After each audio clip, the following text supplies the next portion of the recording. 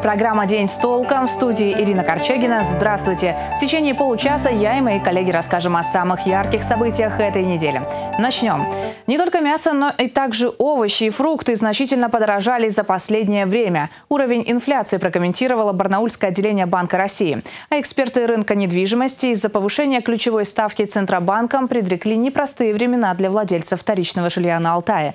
Осенью годовая инфляция в крае, впрочем, как и по всей стране, продолжила расти. Причина этому, отметили эксперты Барнаульского отделения Банка России, ослабление рубля и, как следствие, увеличение стоимости импортных товаров, в том числе ветеринарных препаратов и кормовых добавок. В итоге значительно подорожали мясо и яйца. Так, например, в сентябре этого года килограмм говядины стоил на 5% больше, чем в сентябре предыдущего года, а килограмм свинины почти на 10%. Кроме того, увеличилась стоимость импортных овощей и фруктов – бананов, чеснока, помидоров.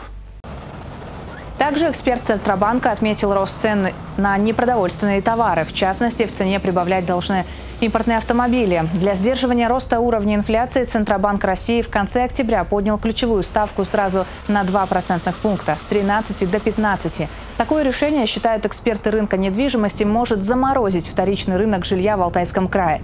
На повышение ключевой ставки Центробанком все остальные банки отреагировали повышением ставки по ипотеке. За последние недели она выросла с 14,5 до 16 процентов. Такая ипотека, считают риэлторы, для многих жителей нашего региона не по карману. Стало известно, когда пройдет прямая линия с губернатором Алтайского края. Она запланирована на 23 ноября. Жители региона уже могут задавать свои вопросы губернатору через сайт правительства края или в социальной сети ВКонтакте на странице прямой линии. Также письмо можно отправить по почте в правительство края, либо принести его лично и оставить в почтовом ящике в здании администрации. Напомним, это будет уже третья по счету прямая линия с Виктором Томенко. В прошлом году губернатор получил более полутора тысяч обращений от жителей края края.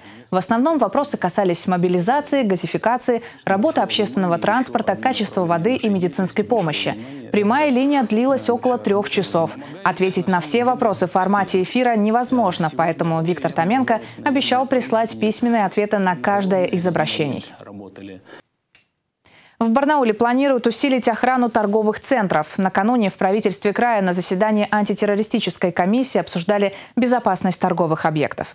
На сегодняшний день в регионе расположено 350 торговых площадей. Все они нуждаются в антитеррористической защите. Однако сотрудники Росгвардии охраняют лишь 30% из них. Силовые структуры на заседании комиссии предложили усилить защищенность объектов торговли. В итоге глава региона Виктор Томенко поручил профильным службам до конца текущего года завершить работу по систематизации торговых объектов. Придется заплатить в сотни раз больше. Проблемы из-за утилизационного сбора на автомобили, ввезенные из стран Единого таможенного союза, набирают обороты. К нам в редакцию на этой неделе обратился один из жителей Алтайского края, который изначально должен был заплатить утиль-сбор около 5 тысяч рублей, однако вскоре эта цифра выросла почти до миллиона трехсот тысяч. Почему так вышло, пытался разобраться Данил Кузнецов. Эту слегка битую Мазду житель Каменского района Антон купил в Киргизии и ввез в Россию в середине октября. Планировал сделать косметический ремонт и использовать для себя, однако утилизационный сбор нарушил все планы. На тот момент он составлял 5200 рублей, но только после того, как мы узнали новости и узнали сумму, сколько будет стоить этот э, утилизбор, мы немножечко удивились. Миллион двести семьдесят теперь просит таможни за этот автомобиль при его стоимости 2 300. И у нас недопонимание, стоит ли нам дальше восстанавливать автомобиль и эксплуатировать его, либо он так и останется для нас памятью. С подобной ситуацией столкнулись автолюбители по всей стране после введения неожиданных поправок в закон об утилизборе, поэтому многие привезенные машины встали мертвым грузом. Когда мы попали в эту ситуацию, начали искать людей, которые также и оказались в этой сложной ситуации узнали о том, что еще на этот утильсбор ежедневно капает и пеня. Сумма разнится, то есть мы не считали, но говорят, что от 700 до 1000 рублей каждый день. Проблемы появились из-за новых критериев определения машин для личного пользования. Как нам объяснили на таможне, если авто был ввезен физическим лицом в единичном экземпляре по пассажирской таможенной декларации и все было уплачено, то машина подходит под категорию некоммерческого применения. И если транспортное средство доставлено организацией и задокументировано по декларации на товары, то ставка будет уже как для юридических лиц. Автомобиль Антона был растаможен через декларацию о товарах. Такую форму используют, если транспортное средство закупают для коммерческих целей. Поэтому сумма утильсбора для нашего героя оказалась столь высока. Людей, которые купили машины до постановления, но не успели оформить, по всей стране сотни, а то и тысячи. Поэтому даже депутаты Госдумы просят отсрочить исполнение постановления до конца года. Такое уже случалось в автомобильном мире. Года два назад, по-моему, или год было назад, когда у нас вводили мораторий на изменение пошлин по ввозу транспортных средств Японии во Владивосток для жителей ДФО, Дальневосточного округа. Как раз я сам лично находился в то время во Владивостоке и тоже узнавал, и там действительно ее продлили. Будут ли хоть какие-то отсрочки на этот раз, пока неизвестно. Однако наверняка понятно, что пока что лучше присмотреть автомобили на внутреннем рынке. Данил Кузнецов, Дмитрий Денисов. День с толком. Первая в этом сезоне трагедия на ватрушке случилась в Алтайском крае на этой неделе. В селе Шалобольха во время катания на ватрушке погиб ребенок. Группа подростков по очереди спускалась с холма, когда вдруг 11-летнюю девочку на тюбинге занесло в бетонную преграду. На место происшествия выехал прокурор Алтайского края Антон Герман. Сейчас выясняются все обстоятельства гибели девочки. Также возбуждено дело по статье о причинении смерти по неосторожности. Врачи отмечают, что катание на ватрушках – одно из самых опасных развлечений зимы. Самые распространенные травмы из-за них – это сотрясения и компрессионные переломы верхних и нижних конечностей, а также таза. На этой неделе на трассе Барнаул-Новосибирск, а именно в районе Зато-Сибирский, произошла авария. Фура ушла в кювет. Как утверждали очевидцы, в фуре находился трамвайный вагон. Пользователи соцсетей предположили, что это и есть один из белорусских трамваев, который ожидает Барнаул. Мы отправили запрос в Министерство транспорта Алтайского края. В ведомстве подтвердили информацию. На сегодняшний день в Барнаул приехали все обещанные трамвайные вагоны – и вот как раз при доставке последнего, десятого вагона произошла авария. Специалисты оценили состояние вагона, есть небольшие повреждения по кузову, но в целом технический трамвай готов к эксплуатации. А вот количество барнаульцев, пострадавших от гололеда, за неделю выросло в четыре с половиной раза. Например, в Краевую клиническую больницу скорой медицинской помощи еще 1 ноября обращались в среднем 10 человек, а накануне уже 45. В основном это пациенты среднего возраста, пожилых людей меньше. Однако и падения для них более опасны из-за хрупкости костей, говорят в больнице. Среди самых распространенных травм – переломы, ушибы, растяжение лодыжек и лучевых костей. Чтобы избежать последствий, врачи рекомендуют группироваться во время падения. По словам синоптиков, гололед будет держаться до середины ноября, пока не ударят стабильные морозы. Интересная история произошла на этой неделе. Жительница Алтайского края выжила под колесами поезда. Инцидент произошел между станциями Арбузовка и Дальней, которые находятся в Павловском и Ребрихинском районах. Женщину обнаружил машинист поезда. Под вот этим вагоном вылезла, выкатилась. Вещи вон остались. Как говорит сама женщина, накануне своего 50-летнего юбилея она немного отметила, перепутала станцию и двинулась домой по железной дороге, продолжая распивать спиртные напитки. В какой-то момент юбилярша решила присесть на пути и уснула. Ты замерзла? Очень замерзла. После того, как звуковой сигнал не помог, машинист применил экстренное торможение. Однако тормозной путь был слишком длинным, и часть состава все же проехала над женщиной. К счастью, имениннице помог ее крепкий сон. Благодаря ему она даже не шевельнулась, тем самым сохранив себе жизнь. Рекордное количество за 4 года. 13 очагов по бешенству зафиксировали в этом году в Алтайском крае. Об этом сообщили в ходе пресс-конференции специалисты Краевого управления ветеринарии. Кто является переносчиком заболевания и как обезопасить себя от смертельно опасной болезни? Об этом расскажет моя коллега Валентина Аскерова. Барнаул, Заринск и еще 10 районов Алтайского края оказались под ударом смертельного заболевания. В регионе обнаружено 13 очагов распространения бешенства. Руководитель управления ветеринарии Владимир Самодуров назвал ситуацию сложно напряженной и добавил, что появление неблагоприятных точек связано с дикими и домашними животными – лисами, кошками и собаками. Вот у нас в данном случае значит, у нас 5 пунктов по диким животным, то есть это лисы. Примерно 40% с небольшим у нас значит, по этой динамике значит, у нас получилось дикие животные. Кошки 4 пункта, собаки 4 пункта. Мы стали регистрировать данное заболевание практически вот в СНТ. То есть у нас э, приходят э, лисы, лисы в контакт с домашними животными, то есть собачки, кошечки. Мы бездомных кошек подбираем, затем диагностируем данное заболевание. А в Мамонтовском районе бешенство обнаружили при весьма нелицеприятной обстановке. У нас была неприглядная ситуация в каком плане, что у нас а, а, подростки до 14 лет а, практически разделали трупы бешеной лисы, то есть проблемы. В 2020 году известно о пяти случаях бешенства, в 2021 – 11, в 2022 – 4. Этот же год побил рекорд. Напомним, 13 неблагоприятных пунктов. Бешенство приводит к летальному исходу. Поэтому его в обязательном порядке нужно профилактировать, отмечают специалисты. Мы сегодня вакцинируем всю территорию Алтайского края по данному заболеванию.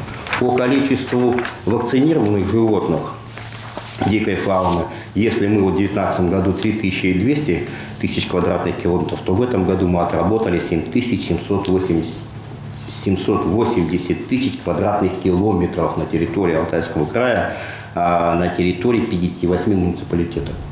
А что касается домашних животных, то за 9 месяцев текущего года вакцинировано почти 470 тысяч четвероногих. Добавим также, что в Алтайском крае появятся две новые лаборатории для исследования заболеваний животных. Это позволит ускорить определение возбудителей инфекций. Лаборатории могут появиться в Бийске и Рубцовске в следующем году. Все это должно ускорить определение возбудителей инфекций у диких и домашних животных. Валентина Аскерова, Алексей Фризин. День с толком. Ничего личного, дачный сезон закончился. Около 70 брошенных кошек обнаружили в одном из барнаульских садоводств. Можно только представить, сколько теперь уже ненужных животных брошено на произвол судьбы по всему Барнаулу. Как выживают четвероногие и кто им помогает не замерзнуть во сне, расскажет Дмитрий Дроздов, который на этой неделе выезжал в садоводство. В том году мужик вообще, камеры у нас, там мусор, да, да, да. он подвез и эта бедная кошечка, он ее вытащил с машины, выкинул. И уехал, она сидела, две недели его ждала-то. Именно с этого и начинается бездомная жизнь четвероногих. Привезли, кинули, уехали. И такие случаи больше заметны в садоводствах. Дачный сезон закончился, и многие барнаульцы оставляют своих питомцев на произвол судьбы. Охранники и председатели хоть как-то пытаются сохранить жизнь кошкам. Там у нас есть э, специальный ящик, мы его оборудовали, под, чтобы они там ночевали. Утепленный, все, коробки ставим, там одеяло стелим, там все это дело. Ну и, естественно, кормим.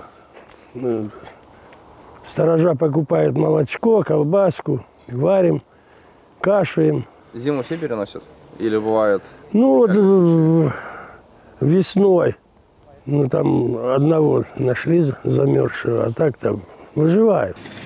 Выживать помогают и неравнодушные люди. За свой счет покупая сухие влажные корма. Кашу, которую, кстати, варят по 5 литров утром и вечером, ибо остальная еда зимой попросту замерзает.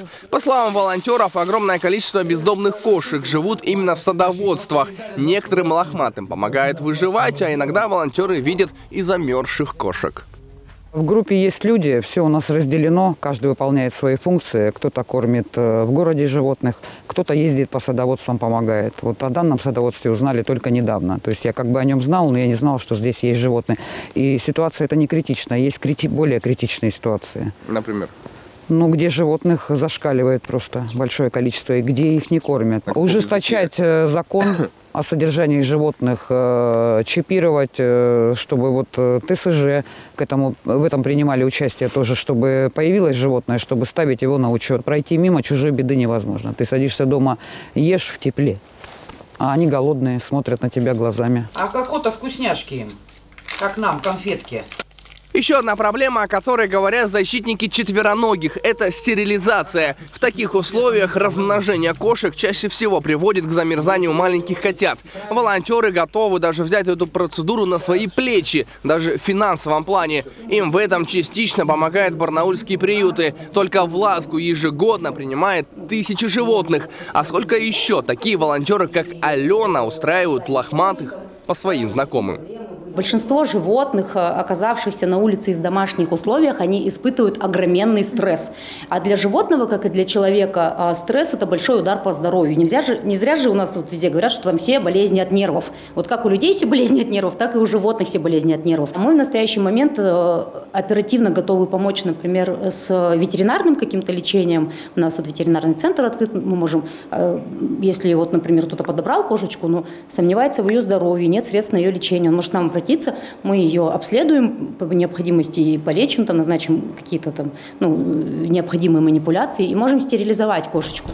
Волонтеры верят, что хотя бы кто-то из этих кошек найдет новый дом и будет жить в тепле и безопасности. Только сейчас более тысячи животных находятся на передержке, а число бездомных еще выше. И волонтеры продолжают верить, что люди, которые выставляют своих питомцев на улицу или оставляют на даче, будут думать головой.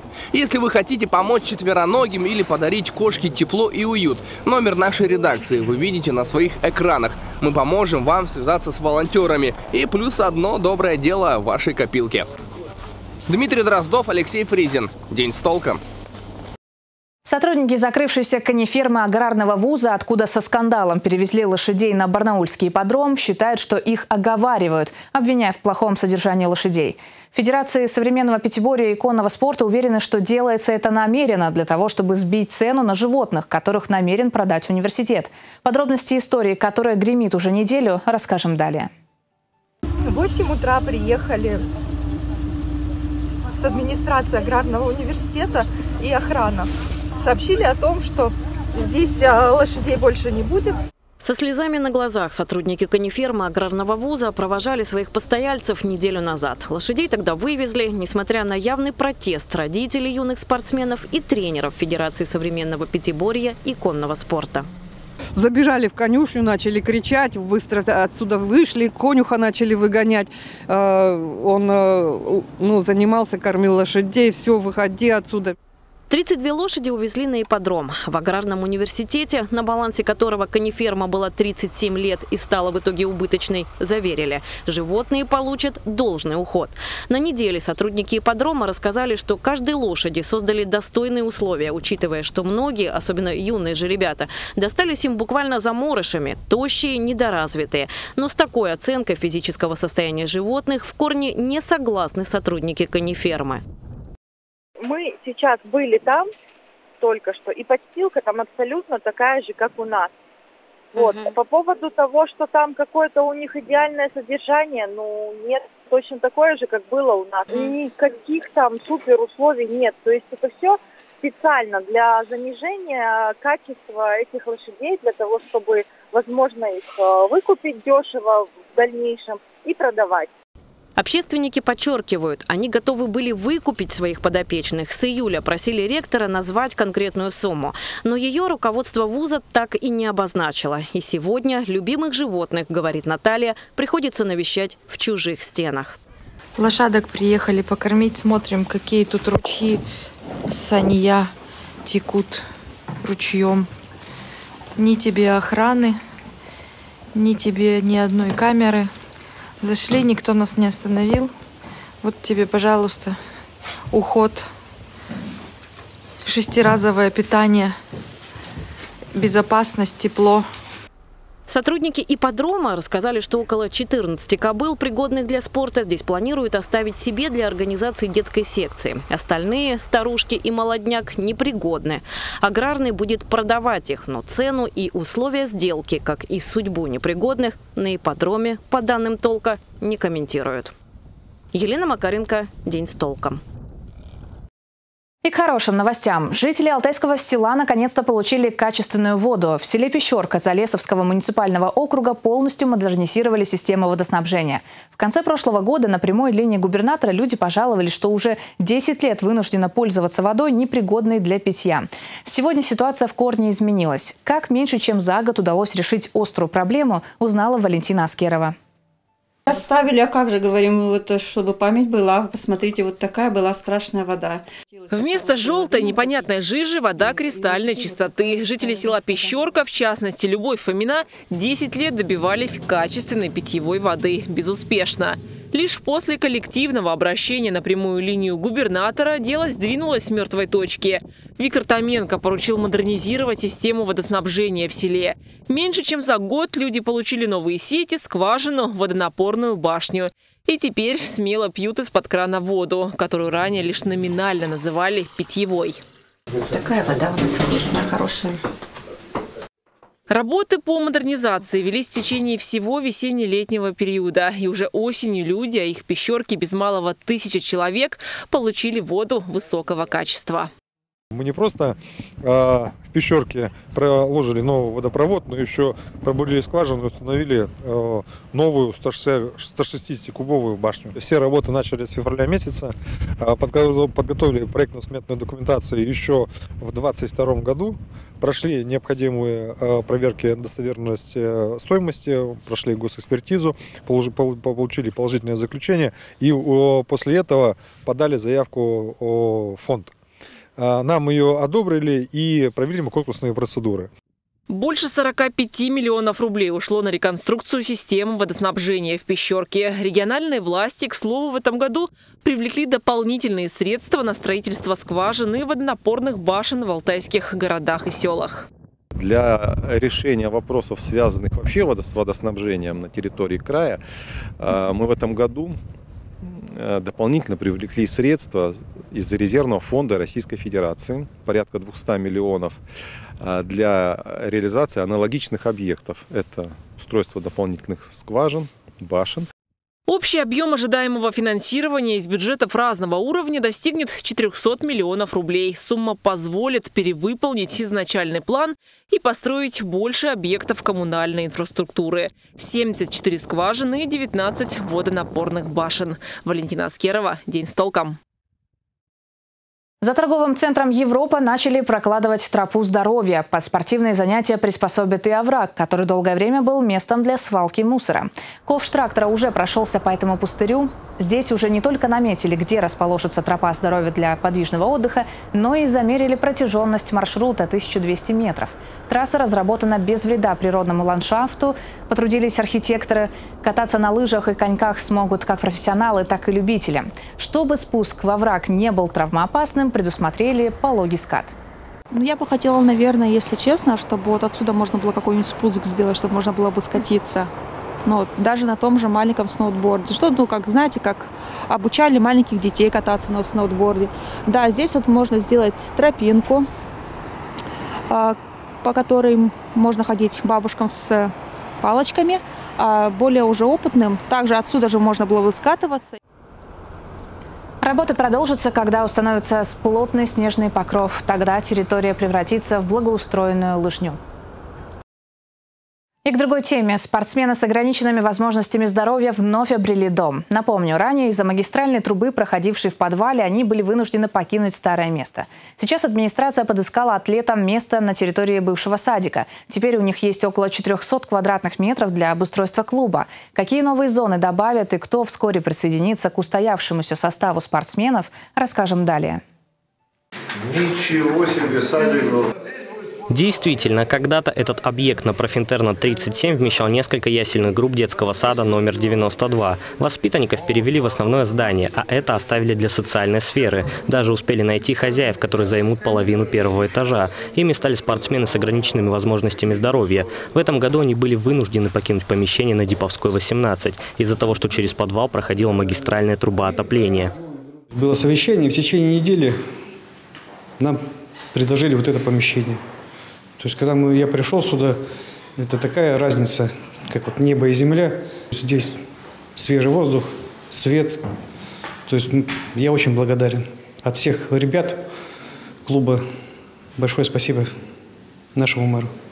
Раньше занятия посещало 83 человека. Председатель клуба Игорь Кузнецов считает, что скоро это число увеличится, ведь к ветеранам добавятся новички слэш-хоккеисты, а их инвентарь, возможно, будет храниться на складе, который здесь скоро оборудуют. Также на эти 400 квадратных метров добавят тренажеры, кардиозону и уголок с настольными играми. Найдем механизмы финансирования этого клуба. А текущую деятельность, спасибо правительству Алтайского края, они закрывают, у них есть смета порядка полутора миллионов рублей, Игорь Владимирович говорил о том, что выделяется. Может быть, и тут будет увеличение. Сейчас клубу осталось заключить договор аренды. Он, кстати, будет бесплатный. С ремонтом администрация также поможет. Не зря же эти спортсмены завоевывали медали на Паралимпийских играх в Лондоне и Пекине. Данил Кузнецов, День с толком. И главному спортивному событию этой недели. В Барнауле стартовало первенство России по дзюдо до 18 лет. За четыре дня соревнований будут разыграны медали в 17 весовых категориях. Как проходила церемония открытия и есть ли медали у алтайских ребят, расскажет Дмитрий Дроздов.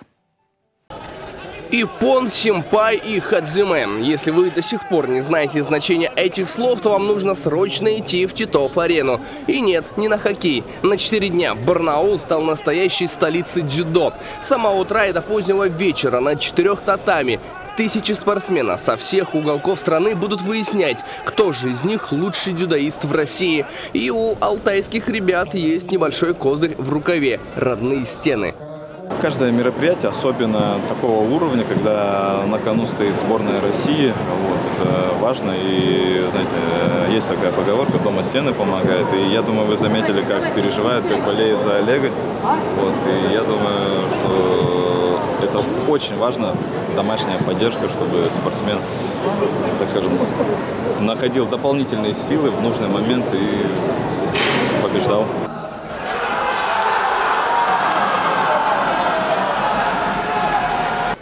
Это кадры из поединка алтайского дзюдоиста Олега Теплякова. Он выиграл полуфинальную схватку, но позже уступил в финале спортсмену из Краснодара. Это первая медаль для нашего региона. И хоть дзюдоист там до 18 лет, но, как говорят именитые спортсмены, это первенство России. Старт в большой взрослый спорт.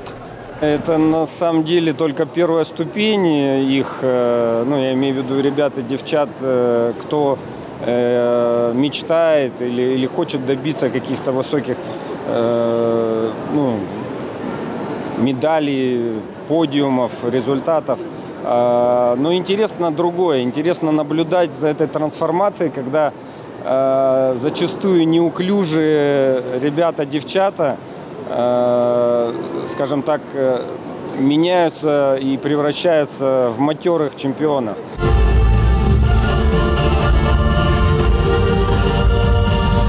После яркой и красочной церемонии открытия, где гостям рассказали, что из себя представляет Алтай и местное дзюдо, поединки продолжились. Ежедневно всех любителей этого вида спорта ждут в Титов-арене, а финальный блок турнира состоится в это воскресенье в 18.00. Дмитрий Дроздов, Дмитрий Денисов. День с толком. Такой мы запомним эту неделю. У меня на этом все. Телефон нашей редакции 205-545. Звоните и рассказывайте о том, что вас волнует. Ну а через несколько секунд узнаем, какой будет погода. Спонсор прогноза – компания «Эвалар». До встречи в эфире и хороших вам выходных.